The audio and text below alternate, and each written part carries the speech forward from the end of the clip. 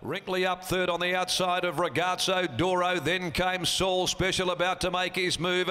On the inside, next of all, is Get Over It, who's travelling full of running, but he needs an out. Going forward, the Celt, three wide on the track, being followed by one short. The middle, Malden's Mill. Down on the inside, the river. Swedish Memories back in the field. So's Minus Looks. Into the home straight in the Faritha. Humanity headed for home over Lusaha. Ragazzo Doro getting up on the inside. Get Over It. Down the outside, Saul Special is starting to run on powerfully at the 100 Saul Special coming at La Saha. Humanity fighting back tooth and nail on the inside. On the outside, the favourite Saul Special reaches the lead though in the shadows. And he got there in the last stride, Saul Special from either the stablemate Lusaha or Humanity and get over it down on the rail. In behind them came Ragazzo Doro, one short. Minus looks the stablemates were together. Then Swedish Memories. In behind them, Wrinkly. Final salute, the Celt dropped out. And the last trio home included the River, back with Malden's Mill and Roughhead. Number five is the winner. Saul Special, ridden by Brad Parnham.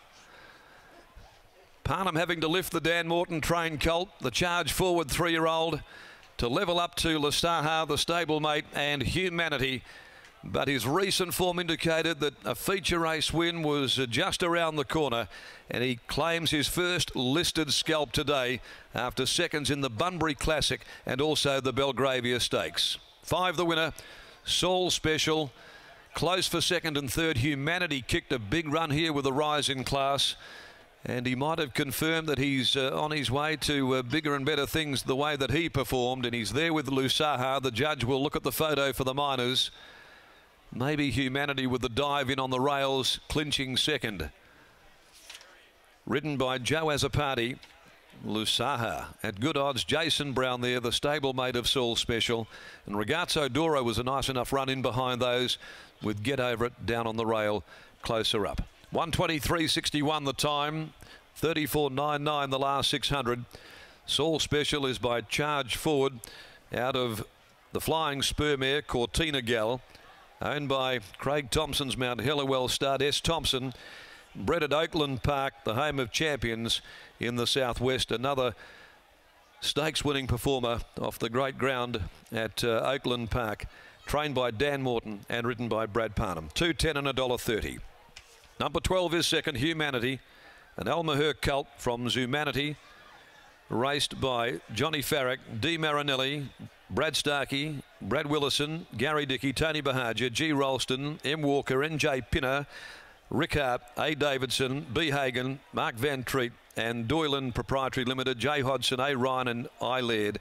Ridden by Joe Azzopardi for Lindsay Smith, 640 the place, a big divvy, and 9 Lusaha by More Than Ready from Rose of Helliwell for the Mount Helliwell stud and BJ Cohen trained by Danny Morton and ridden by Jason Brown, $2.80. 5, 12 and 9.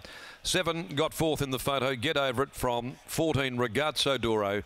Ahead a short half head with the margins. It's a head and a short half head after the Faritha Stakes, our feature three-year-old event. And Brad Parnham certainly in grand form, a double there on Tuesday at the Melbourne Cup meeting here and clinches the listed Faritha Stakes today for trainer Dan Morton. As we take you now down into the winners' enclosure, it's a 1-3 for the Morton stable. A great result here, Adam, after the Faritha Stakes. Certainly was, Darren. Dan, we spoke to you before the race and we mentioned that one was $2.50 and one was $21. And the price difference, I don't think many of us thought should have been that big a difference. And we just saw that then with the first and third. Yeah, absolutely. You know, I couldn't have been happier with them going in. You know, it's easy nights on there, you come out and it all works. But um, a bit of a high pressure race this time of year leading into a Guinea, so you needed all to go well, and it did. Let's talk about Saul Special first. And we mentioned the run that Bunbury Classic was one of the only horses that raced on speed to be able to stay on. Then last start, forced to go back. He showed a brilliant turn of foot behind Caipirinha. Today, everything just mapped out perfectly, drawn really well, some nice speed in the race, and you're able to work into it with that turn of foot. Yeah, the gate was important, and he did get a really nice uh, card in the run. So, um, yeah, it's off to Brad. Nice ride. From that last sort of 100, 150 metres as well, it looks as though the 1600 is only going to suit this guy more. Yeah, like I said before, you know, he's tracking up really good. You know, he needed to do that today to um, frank himself for the uh, Guineas, but, you know, he's going to be right in the ball game. How confident were you coming today from the track work you'd seen that this guy was the one to beat? Oh, he's a high quality horse, and he's been, you know, he's raced at the highest level all the time. So, you know, he, he just needed to, we just needed to hold him together for him to be a real chance. Yeah. You mentioned that he's high quality. Lusaha, pretty close as well. Uh, yeah, we know where we're at with him. You know, he's a work in progress still, but there's a big race in him. Looking forward to seeing both of them going to the Guineas. Yeah. Well done, mate. Congratulations. Thank you. There's Dan Morton. Uh, we will grab the winning jockey, Brad Parnham, as well uh, in a second, who's just uh, done a circle around me. Brad, uh, bit of pressure coming to the races when you're in a $2 favourite, but you're able to handle that nicely.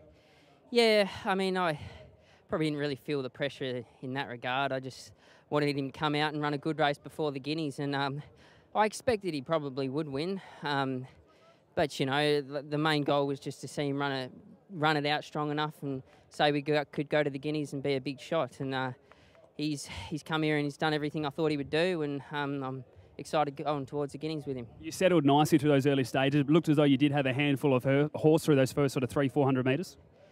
Yeah, he began very well, and um, my plan originally was probably to sit a bit further back, but when he began like that, I thought I might as well just cross a couple of those uh, ones I didn't think I'd cross inside me. Um, and then once I got there, I was just able to sort of get him right back underneath me and get him into a nice rhythm without having anyone around me annoying me. And uh, it just worked out really well for me in the end. We talked about it before the race as well, the pressures for the jockeys. Yourself and Shaun McGruddy all been on three horses this campaign, all in the same race. You've won on La Saha this prep, you've ridden Wrinkly and Saul Special. How tough is it to make a decision? Yeah, making the decisions are never easy, but um, this this one, uh, I think this horse is a pretty special horse, so it just made the decision a little bit easier for me. And the relationship with Mount Halliwell Stud clearly seems to be going very strongly. Yeah, I mean, I've had a lot of luck with them since I've been back, and um, I've got to thank Craig a lot and Marty for their their support. You know, they they've been putting me on all their good ones, and um, hope they continue to do so. Well done, mate. Congratulations. Thank you. There's Brad Parnham, the winning jockey aboard Saul Special, which has taken out the listed Faritha Stakes for Colts and Geldings, race number seven here at Ascot.